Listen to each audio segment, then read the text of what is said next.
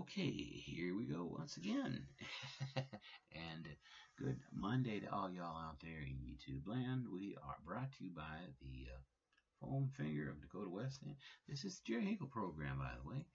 Uh, coming to you almost live, just about pretty near from uh, the Ashley Kringen studio of the uh, UBS network. We're also brought to you by our semi-regular sponsor, Tang instant uh, breakfast uh, drink. 100 day supply of uh, vitamin C in every glass, depending on the size of the glass. It could be more. And uh, so, what else? I guess, I'm, oh, you know what? I don't want to talk about Trump and Hillary. We're going to forget about that.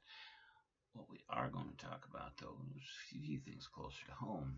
Uh, remember when I was so excited last uh, Monday about the Christmas tree going up in Corn Palace Square. Well, it turns out that there uh, wasn't no, there was no Christmas at the Corn Palace or parade lights or anything like that. All that's going to happen on the 5th of December, next Monday. So we'll see how that goes.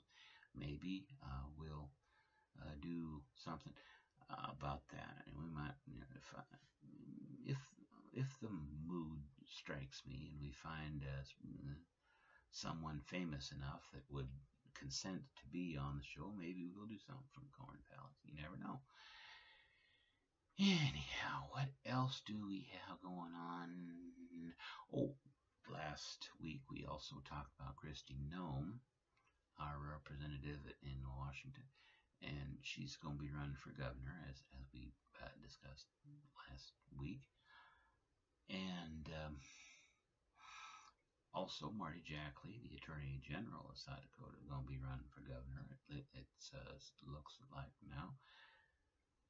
So that's going to be, and they're blaming the ethics law that uh, initiated Measure 22, if I'm if I'm remembering my laws correctly.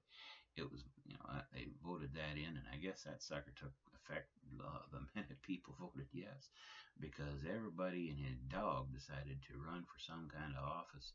Couple of, well, not everybody, just those two, and uh, just interestingly enough, our old friend Dusty Johnson from the Public Utilities Commission and uh, Governor Daugaard's former chief of staff.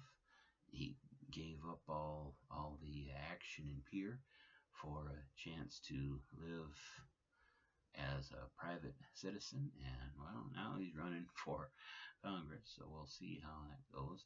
Uh, I don't want to wish him any bad luck. It's just that, oh, if he goes and he he does actually get elected, I'm worried he'll go to Washington, become a politician, and we'll never ever see him again. And you know, this state could use all the uh, brilliant young men's that it, it can get, and know, for to provide leadership and whatnot. So, but you know, we'll leave it all up to God's hands and see what He's got in store. And I guess that's really all we got to talk about. So, uh, so long from the Ashley Kringen studios here in the uh, UBS network.